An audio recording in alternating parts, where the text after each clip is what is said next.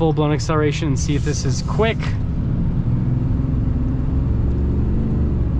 Hey everyone, it's Ben Hardy here, and in today's video, we're reviewing a 2022 Ram 3500 Black Widow. This is going to be a pretty crazy review. First and foremost, though, a huge shout out and thank you to the Larry Miller Dodge Ram here in Provo, Utah for giving me some time with this Black Widow truck. Check out the inventory in the description down below. This one is available for sale right now if you're interested. On a side note, if you want to save time and money the next time you purchase a car, link to my car buying guide in the description down below as well. Let's get into the video.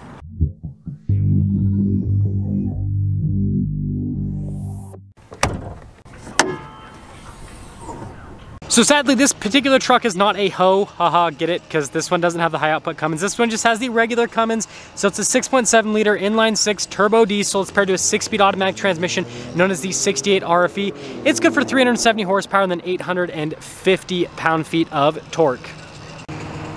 Now let's quickly go over the features on this Black Widow truck. Since I've already reviewed quite a few Ram 3500 Laramies, we're just gonna focus mostly on the Black Widow stuff and touch base on a few things uh, that come with the Laramie package as well. And again, this is based off of a Laramie, if you guys are wondering.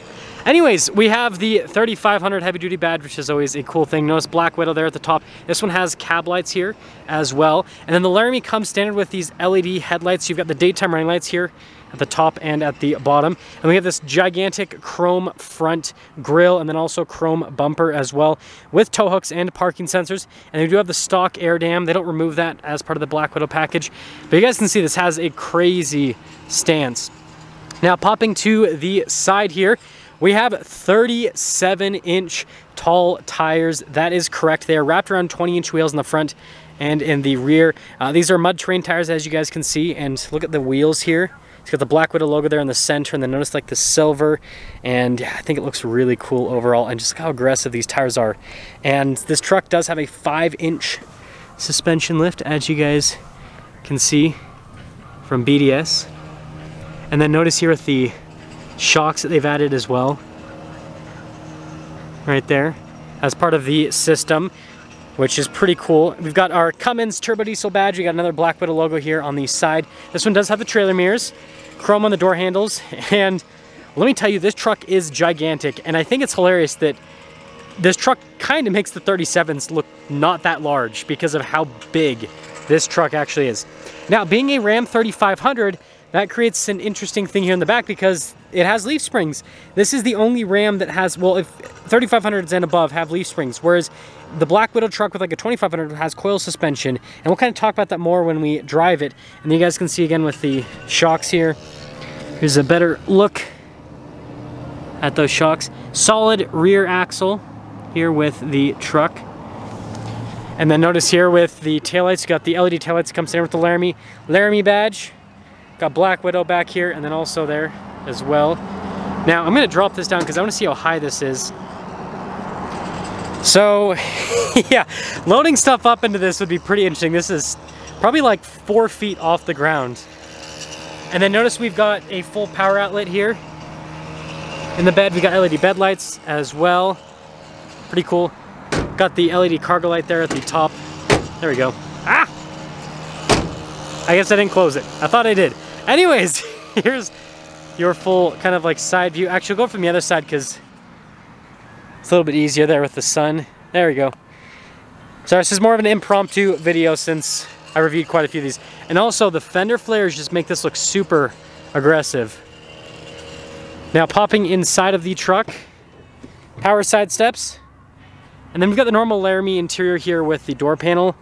And then the seats as well have not been changed from stock. This one does not have heated seats or anything in the back, just has the charging ports and everything. Now being a crew cab, um, it is, it's, it's still pretty spacious, but it's not nearly as spacious as like a mega cab or like the new Ram 1500 cab. They still haven't changed this. And then steps almost went up, but then they didn't. Uh, here's the door panel in the front, as you guys can see again. Got Black Widow here in the headrest, but the rest of the seat is been left to stock. It's kind of a funny way to say it, left to stock. Now you still have to kind of step up quite a bit and then also use the grab handle to really get in because this truck is enormous. You guys can see here we've got the custom Black Widow gauge cluster as well. Uh, and then everything else looks stock. This one's got the Alpine sound system. We've got the 12 inch display here. I don't think this one has the 360 camera. Yeah, we just have the regular backup camera here with the truck. Um, aside from that, heated cooled seats, heated steering wheel because it's a Laramie dual zone climate. We've got a bunch of auxiliary switches here down below. Diesel exhaust brake, right, because it's diesel trailer brake controls.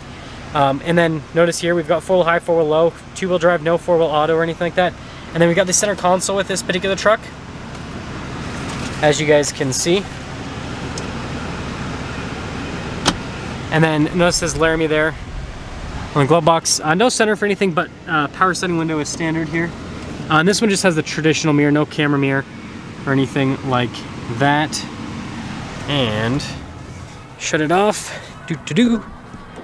You know what I'm curious to hear about is I wonder if these are actually Fox shocks that are just Black Widow badged now because Fox owns Black Widow. And so if you guys know, let me know. But I I bet that's the case because yeah. And if you guys don't believe me, literally there's a Fox paper right there and also here on the steering wheel, Fox factory. So I bet those are Fox shocks just with Black Widow badging. Um, here is the window sticker on this truck. So base price was $60,000. This Laramie was equipped up to $78,720. Um, so as the bed utility group, Laramie level C equipment group, just have the regular Cummins, which is a $9,500 upgrade and a few other options like the 12 inch display. Now that doesn't include the Black Widow package. The Black Widow package is another $21,000 on top of that, $21,413 to be exact. Comes with a three or 36,000 mile warranty. It's compliant with all regulations. And so if you add these together, um, well, maybe you shouldn't because it's basically $100,000. Let's see how she scoots.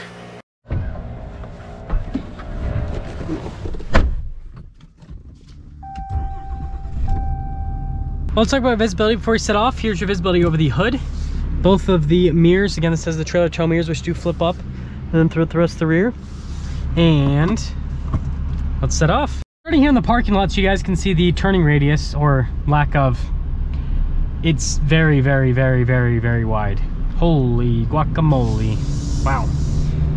Yeah, it definitely takes a second for this thing to uh, crank it. Um, anyways, you know, first setting off here in the truck, again, still in the parking lot, don't worry, we'll get off, we'll get onto the road in just a moment. Um, it's actually pretty comfortable.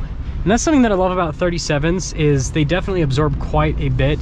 And so even, you know, a vehicle that rides rougher from a suspension standpoint can sometimes feel relatively uh, comfortable in terms of the ride quality, right? But also the tires aren't too loud so far, but we got to get up to higher speeds to really see how they perform. Something else that I'm noticing is my ventilated seat's not all the way on. There we go. It is so hot today. Thermostat's still reading 111 degrees. Good gravy. Um, yeah, turning radius is solid from around a roundabout, but obviously full turning radius not as solid. So kind of see coming around here. Yeah, this doesn't feel too difficult to drive. It's actually pretty uh, comfortable from a driving perspective. Torque is great.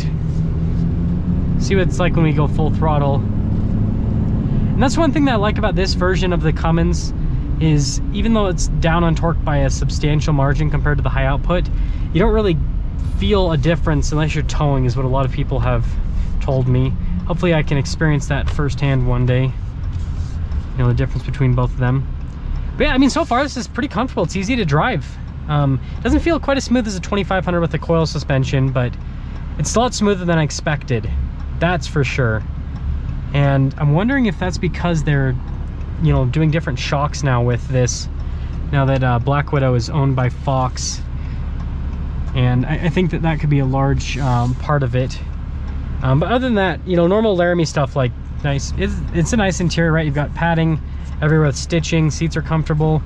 Again ventilated which is very nice when it is hot outside. Definitely helps you keep cool and not sweat over everything. And let's get our full-blown acceleration and see if this is quick. Eh i wouldn't call it quick but it's able to move the tires that's for sure. Yeah I definitely would not call that quick by any means. But again, for being a truck that's lifted five inches and has 37s, it's more than enough. I think for most people, you're gonna be completely fine with how this accelerates now. Fuel economy is not going to be accurate, but I'm still interested to see. Also, the tire pressure set pretty high. So it's an interesting thing with heavy duties for towing. 16.1. Again, this isn't, you know, broken in with tons and tons and tons of miles, so, you know, we'll, it, time would tell what the actual fuel economy would be, but that's the benefit of lifted diesels over lifted gas engines, right? Is you can still get decent fuel economy with crazy big tires and a crazy lift. Whereas with, uh, you know, traditional internal combustion, well, just gas car, this is internal combustion as well, sorry. Again, the heat's getting to my brain. Um, with the traditional gas car, you definitely do lose quite a bit more. And so, yeah, I think this is a pretty cool looking truck on the outside. Um, interior is normal Laramie. It's got some Black Widow stuff, but not a ton.